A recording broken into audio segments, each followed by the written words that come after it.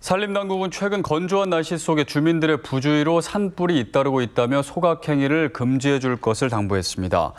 어제 보은군 산해면에서는 쓰레기 소각 중 불씨가 야산으로 번져 임야 1헥타르가 소실되고 불을 끄려던 주민 한 명이 2도 화상을 입었습니다.